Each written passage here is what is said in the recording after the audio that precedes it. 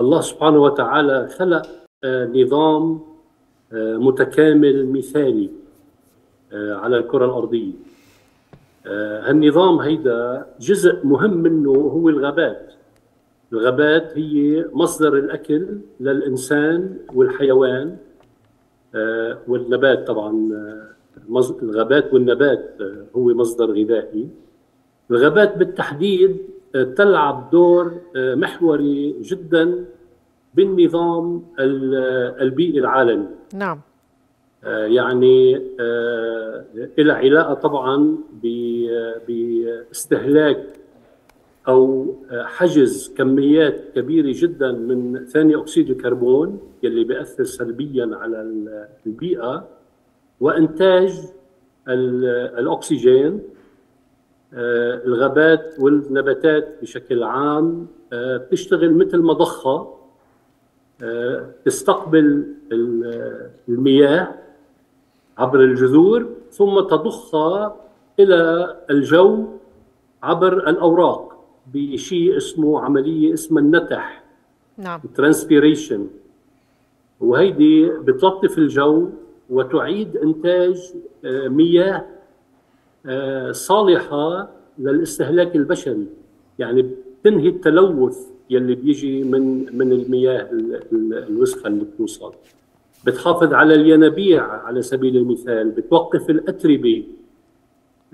مصدر للأخشاب للصناعات.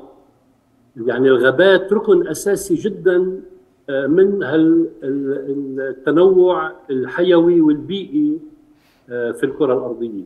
نعم. مهندس حسن هل هناك تصور أو أرقام يعني قريبة للدقه في المنطقة العربية بشكل عام عن تواجد الغابات؟ إي نعم. بالمنطقة العربية المساحة الكاملة للغابات حتى الآن هي 367 ألف كيلو متر مربع. نعم. أكبر دولة فيها غابات هي السودان. يمكن بنتعجب إنه ثاني أكبر دولة عربية فيها غابات هي الصومال يلي نحن بنفترض إنه هي يعني شبه صحراوية.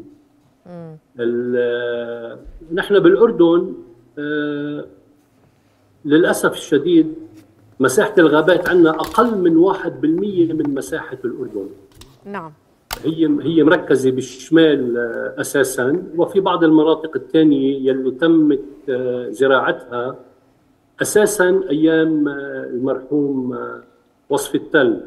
نعم. نعم. مهندس حسن عفوا بهاي النقطة تحديدا هل لما نحكي 1% وجود غابات هي نفسها نفس المصطلح ما يسمى بالرقعة الخضراء؟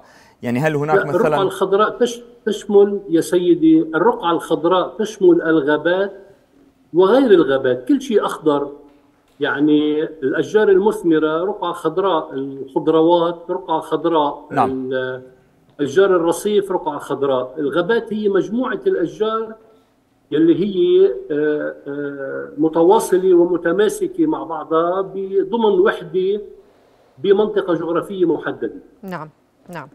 طب سؤالي لك مش مهندس اليوم عم نتحدث إنها مسؤولة هذه الغابات عن 80% من التنوع الحيوي تغطي 30% من مساحة الأرض ولكن بنفس الوقت كلنا بنعرف زي ما ذكرت فوائد وجود الغابات لكنها تواجه مخاطر عديدة.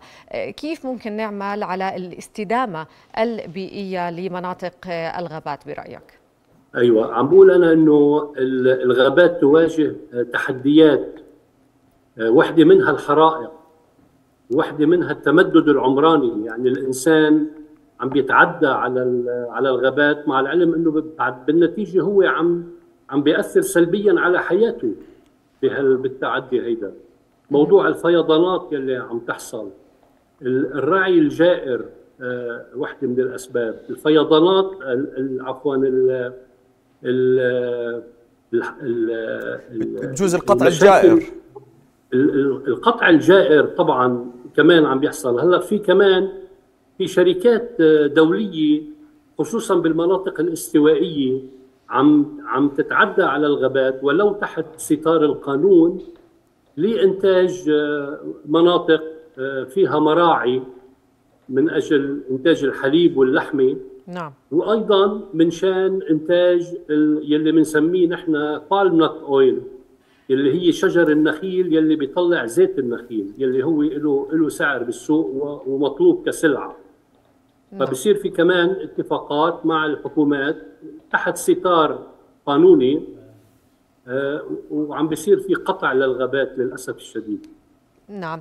يعني العديد من المخاطر والتحديات وعم نشوف كمان يعني محاولة لتكثيف الجهود وتوحيد الجهود العالمية من خلال آه، قمة المناخ أو مؤتمر المناخ اللي يقام بعدة دول. هل برأيك التوصيات عم بتكون بالمستوى المطلوب لأنه يتصاعد آه، يعني وتتصاعد الأصوات المطالبة بالوقوف آه، يعني ضد فكرة اجتزاء المناطق الخضراء أو حتى التعدي على الغابات؟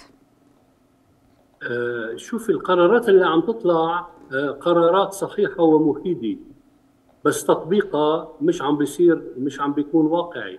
نعم. آه، اطلاقا.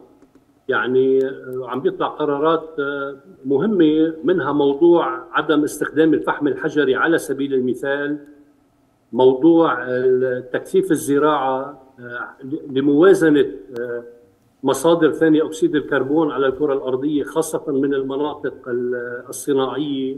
نعم. عم بيطلع الحفاظ على الغابات. هيدا هيدا على الورق آه، صحيح. وإذا طبق بشكل صحيح نصل إلى نتائج سليمة. بس التطبيق ما عم بيكون ما عم بيكون واقعي. يعني عم بيغلبوا لسه البشر مصلحتهم للأسف. شوفي شوفي عيني؟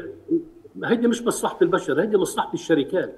نعم. مصلحة نعم. البشر بالواقع شيء مختلف بمكان آخر تماما صحيح. مصلحة البشر انه إنه يكون في عندهم بيئة سليمة لهم ولأولادهم نعم بس الشركات عم تتصرف وكأنه هل هل مجموعة البشر يلي عايشة على الكرة الأرضية هي آخر جيل من صحيح. من الناس اللي بدهم يعيشوا على الكرة الأرضية في سبيل جني أموال بالتأكيد إذا تابعوا هيك لن يستخدموها لأنه رح بيموتوا نعم يعني مصيبة. نعم.